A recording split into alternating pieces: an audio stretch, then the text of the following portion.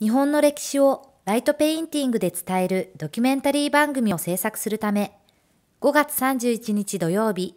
備中松山城で撮影が行われました。この日は、カナダ人のトレバーさんなど4人が、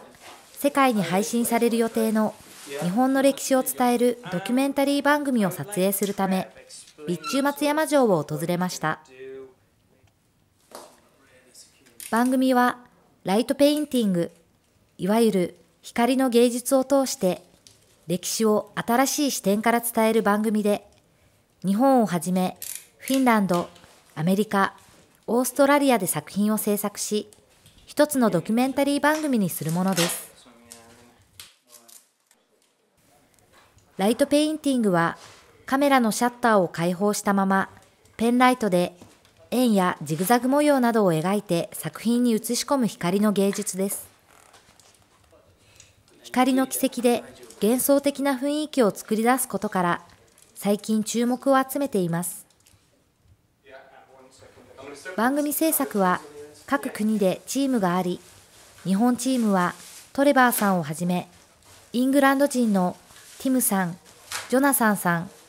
倉敷市のコーメルさんの4人です。それぞれ岡山で仕事をしていて、この番組のため結成しました。トレバーさんらは、日本の歴史に欠かせない城と武将をライトペインティングと融合させようと、高橋市の備中松山城を舞台に選びました。現在も山の上にそびえ立つ城の佇まいと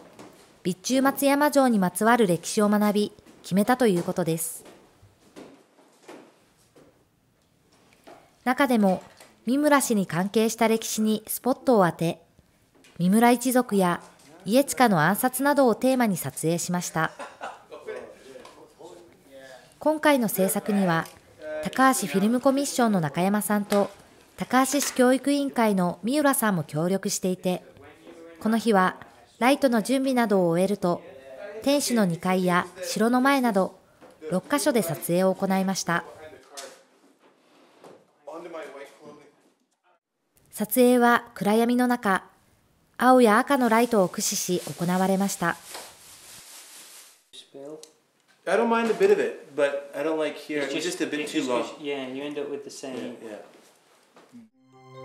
この日撮影した作品です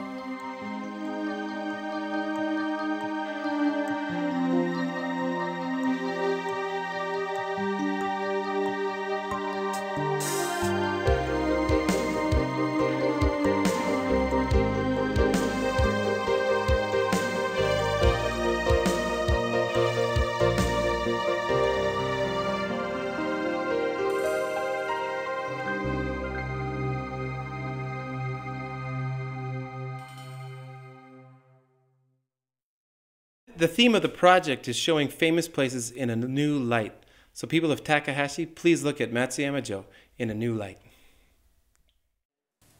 日本チームの作品は1ヶ月ほどで完成する予定で、残り3カ国の作品と合わせ、各国の歴史をライトペインティングで伝えるドキュメンタリー番組として世界に配信される予定です。